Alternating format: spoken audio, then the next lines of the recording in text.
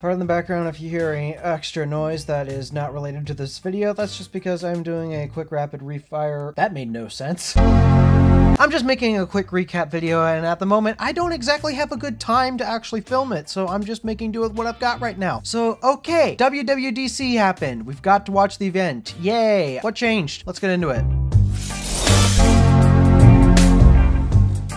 So, after Craig and his other presenters have jumped from an airplane doing some skydiving and such, yeah, oh, they always do something interesting for the intro of WWDC, we start off with Tim Cook announcing TV Plus trailers. Why? After that weird uh, tangent that literally nobody asked for, we're going to move on to Vision OS 2. Yes, despite that we only have one Vision thing out, the Vision Pro, like how many people bought that and how many people actually care about that? Hmm, let me think, a grand total of of, oh yeah, this many people last I checked. Because basically if you check the entire internet right now, nobody cares about this thing. Like after a month of people trying out Vision Pro, nobody's talking about it anymore. It's one of those easily forgotten products. And yet Apple's continuing to update the software for it, I guess. So what did they add to Vision OS 2? Well, Photos gets SharePlay with personas. So you now can have other people creepily and uh, weirdly positioned in your room to react to photos. Supposedly there's navigation improvements. Uh, once again, they're still not intuitive as a touchscreen and such, so yeah, not entirely sure how that's gonna work. Supposedly the Mac display or preview, whatever they call it, I don't remember exactly what they call it. There's new display ratios or features for displaying your Mac in Vision Pro. Supposedly Canon's coming out with the camera lens that can do spatial video recording or spatial photo recording. I don't know what it is. What I do know is that don't care because quite literally none of this actually matters. 3D video, 3D photos, I, I'm sorry, that's not the future. And they also have announced that Vision Pro is coming to a few more countries. What are they? I don't know. I don't care because truly, just as I thought when the Vision Pro was initially announced last year, I thought that this thing was going to sell great for the first month after it comes out and we were all going to forget it because truly it solves no problems and your phone does things better. I, I can't think of a good reason to buy a VR headset. Vision Pro, I don't care how good it even is. I don't care how good the experience is. Why get it when you already have something that does it just fine. I don't, I'm confused about Vision Pro. I can't get excited for it. And clearly the rest of the internet agrees with me because who has talked about Vision Pro for any time past January? Or excuse me, came out February. So who's been talking about the Vision Pro past February? Okay, maybe the podcast that I'm on, we talk about it every now and again, but literally it's just because we got nothing else to talk about. And oh, I guess Vision Pro is coming out with this, Vision Pro is coming out with this, but truly, Nobody cares about this product except Jon Prosser. All right, moving on to the operating systems that do matter, however, we're going to talk about iOS 18, which they have made a crap ton of changes. How many notes do I have here? So we got a new home screen where uh, now apps aren't completely locked to the top of the device. I don't think they're perfectly customizable where you can place each individual app exactly where you want on it. Not entirely sure how this works. I just now we can place them not at the top of the device. Guess Android Android users who have hated Apple for not having this level of customization, uh, rejoice. Oh, speaking of app icons and such, you can add a little more customization to them. You can't completely replace the cover of the icon itself. You can't change the overall design. They basically made a whole bunch of color improvements where you initiate dark mode. Oh, you get a dark app icon. Or do you want a device theme color over your apps? Well, actually you can do that now too. Control Center has a redesign with new panels and and a brand new library. On the lock screen, I can't English.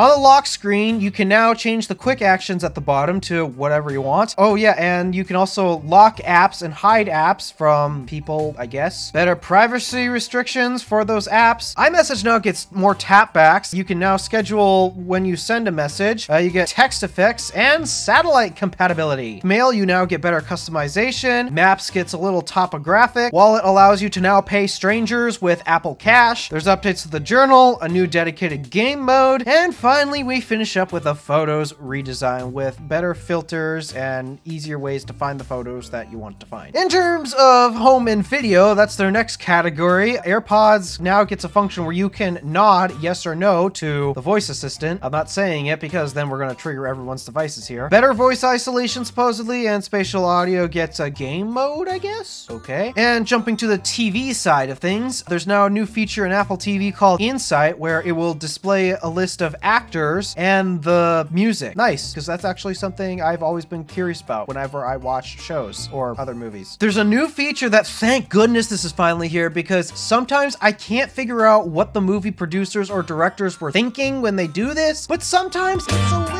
hard to hear what the actor is saying over the loud sound effects or the background music. Sometimes it's a little difficult to hear what the voice actor is saying, and as a result, you need to turn on subtitles or do something extra. In my opinion, just make a better movie where you can actually hear what the actor's saying, but okay, well, now there's a feature that allows us to hear what the actor's actually saying in those noisy bits. Again, why can't these movie directors just make a better movie? Just asking. And I guess there's a new screensaver update where you can now display Snoopy. WatchOS 11 is next with a new training load calculator, which basically measures your effort that you put into your training. Okay. Uh, you now have the ability to cheat on your goals. So say you get injured and you can't exactly, you know, complete uh, finishing your record for that monthly badge or something. Well, guess what? You can now cheat it. What's the point of these again? There's a new Vitals app to give you a basic overview of your vitals, I guess. There's also some new cycle tracking updates if you happen to be a woman. Do not ask me to explain these to you because I am not a woman. I have no idea what any of this is and I do not care because I am not a woman. Go ask another woman if you want a better explanation. We get more widget updates. I don't care. I don't even use the widgets on WatchOS at all. I don't even use the widgets on any of my devices. Quite literally, I don't use widgets. Oh well, I, I guess we got widget updates. There's a new translate app and more watch faces. Still no third party ones. With iPadOS 18, don't worry everyone, it's time to get super hyped and super excited. Did the iPad Pros finally become iPad Pros? And is my M1 chip finally going to be taken advantage of in this iPad Air? Nope, still not fully professional, but they did make some meaningful changes that were long overdue. But to start, here's where we begin my list. New home screen personalization, basically the same as iOS 18. There's a tab bar that takes your sidebar and puts it above your apps. A little confused about that, but okay, I, I guess there's that. SharePlay basically allows remote desktop functionality, so okay, I guess we now have remote desktops available for iPads now, which is useful to some if you can even use your iPad professionally. And also, drumroll please, this is the most important update of them all. Literally, we have to sound the alarms and get everyone's attention for this. We finally have a calculator app. By the way, something hilarious in the event itself. Here's a replay of the clip when Craig announces the calculator app for the iPad. Next, I want to talk about a feat that some may have concluded must be a mathematical impossibility. That's right, we're bringing Calculator to iPad.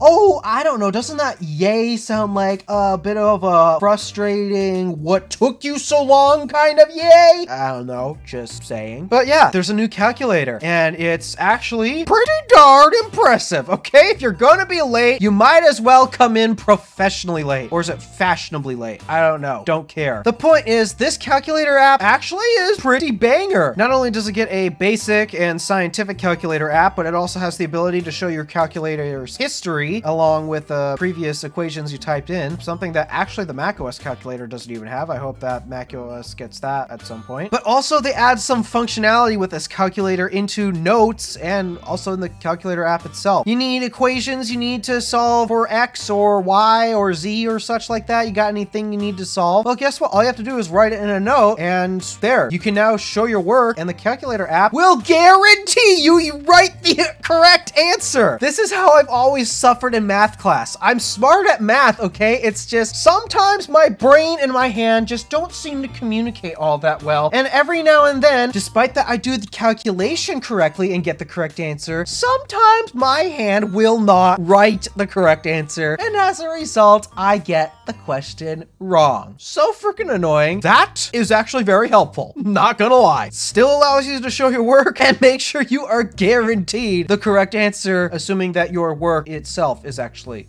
correct. Thank you! Oh, this would have made math class so much easier for me. Oh, and I've been bringing this up a lot. If we do get a calculator for the iPad ever, which we finally did, could they give it graphing calculator functionality? Like, actually, there is a graphing calculator on the Mac. It's called Grapher. It's not the same thing as the calculator app. It's a separate app, but yeah, the Mac has a graphing calculator. Well, guess what? Not only does the Mac have a graphing calculator now, but this! So yeah, long overdue, but they came in fashionably late. And also we have a new smart script function that basically makes your handwriting a little more legible. And then we get on to macOS Sequoia, another creation of the crack marketing team. We get the same math notes functionality. That's what it's called, by the way. Continuity gets a new impressive feature that basically allows you to mirror your iPhone onto your Mac. It allows you to control it. It allows you to browse notifications. It even allows drag and drop functionality. Not gonna lie, that actually sounds extremely useful. Good on you, Apple. Thanks for that feature. I'd probably use that a lot, not gonna lie. And then one thing that I've been asking for macOS for years, okay? I give Windows a ton of crap. You guys know how much I hate Windows, but one thing that I've preferred about Windows over macOS is just their window management. I've hated the way macOS has managed their windows. When it comes to resizing, full screen, everything about it, I have never liked macOS's window controls. But we now have snapping! Yes! I actually use this feature all the time on my Dell XPS. Sadly, I still have to use Windows for work. It's just not my preferred platform for very obvious reasons. And now finally, we're getting an improvement to window management on the Mac. Thank you, Apple. This was literally the number one complaint I've had with macOS. Managing Windows and all that on this is terrible. Thank you. We have a new presenter preview, so that way when you're doing video conferencing stuff, you don't accidentally share things with the conference or whatever. Uh, yeah, there's a new presenter preview, I guess. And speaking of video conferencing and such, we now have backgrounds for video conferencing. So I guess maybe when I do the iTunes Fanboy podcast, I can finally get rid of the messy mess that is my room behind me. Keychain now has a dedicated passwords app. Safari gets a new highlights function, a new reader view, and video viewer, I guess. And a gaming portal toolkit. Oh, wait, no, a second generation gaming portal toolkit. So I guess if you're a gamer who games on Mac, I guess you're getting a better experience, or maybe you happen to be one of those many gazillion PC gamers out there who refuse to game on Mac primarily because as long as Macs don't have the ability to game, then Macs suck in general. Well, I don't know. If you ask me, if your computer can't even run a stable operating system, I think that's even worse if you ask me.